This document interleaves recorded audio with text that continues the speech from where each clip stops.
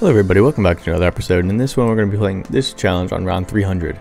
Let's see how it goes. So we're given uh, about a bajillion lives and one dollar. So let's just get started. As you can see here, we are tactically placing our monkeys down to pop absolutely zero of these balloons. Um, while it may look like I'm defenseless, I'm actually full of defense. You see how many hearts I have left here.